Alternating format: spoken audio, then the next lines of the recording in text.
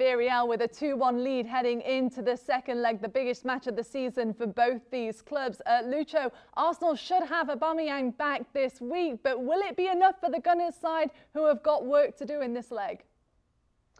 They have a lot of work to do, to be honest. Of course, Aubameyang being involved and having the chance of scoring at the weekend is a fantastic news for, for Arsenal fans and Arsenal team uh, to, to play against Villarreal. A good, very good Villarreal who done again at the weekend with a late goal. Uh, to continue their fight uh, in the European competition here back in La Liga. And to be honest, uh, yeah, I think the Arsenal has got good enough and they show up during the a few minutes, not for, for long periods, for a few minutes in the second half that they can score two, three goals if you sleep a little bit. Uh, but Villarreal he will know uh, that situation. Unai Emery has got a fantastic history on the competitions. He's got a lot of experience, and I'm I'm sure that he's going to manage that with a, a good defense, being very competent, allowing the players are from like Chukwueze, Gerard Moreno, and we'll see if Bacca or uh, Pablo, uh, Paco Alcácer are going to be in front. So Partey rested that the weekend for United Emirates teams. Uh, uh Odegaard, I enjoy enjoy him play once again. He was a, a little bit out in the uh, past couple of, uh, of games, uh, so he's a very important uh, player for this Arsenal. So we'll see what happens because he really needs a, a lot of work to, to, to win this Villarreal. Yeah, I agree with Lucho. I think Villarreal will end up doing the the, the business, uh, but I think it's going to be very, very close. And there was a five minute stretch in, in the first leg where it was 2 0 in favor of the Yellow Submarine. Gerard Moreno is in. He scored, or he should have scored uh, a goal to make it 3 0. Bernd Leno made an unbelievable save.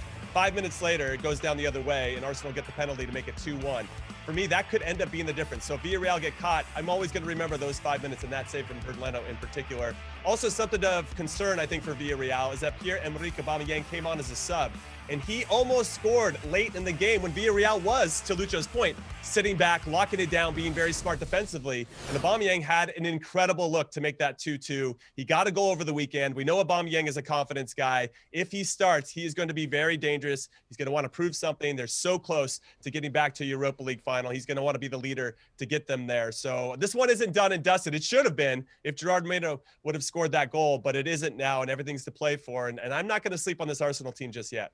Yeah, fantastic point, Jimmy, as well. Important taking your chances in that first leg and then not conceding a goal. And Arsenal have given themselves a real good chance now. They really have. Um, I, I love to see Aubameyang scoring at the weekend. I like to see that smile on his face. And I think when he has that impact in the locker room and it looks like he's coming back to, to the chemistry with the team, Arteta starting to enjoy having him around again, um, it's a lethal weapon to watch out for.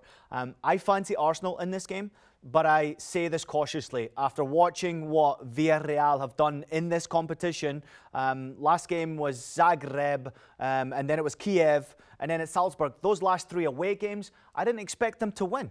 And they went and they made those games look relatively easy. So, uh, as Jimmy has mentioned, and, and Lucho talked about the quality of this Villarreal side, and plus the way they're coached, um, Emery's got so much experience. You wouldn't bet against it. That this is a big point for him as well to prove Arsenal, you know, what, what they're missing, and, and, a terrific coach that he has been in his time. I think this is going to be a, a, personal game for him and wanting to prove to the rest of the world that he means business. Villarreal have the quality to win this competition, certainly get to the final. But Arsenal need to be at their best. If they're not at their best, I think we could see Villarreal go through. So will Emery carve out another success story in the Europa League at the expense of his former club? We will see. What a week we've got in store. Join us tomorrow at 1pm Eastern for our Champions League coverage. We will get you set for all of the action. We'll see you then.